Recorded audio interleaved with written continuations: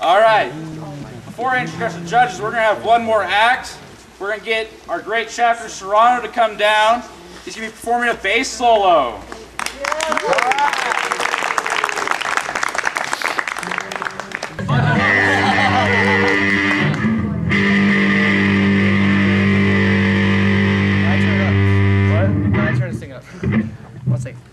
Don't blow the speaker.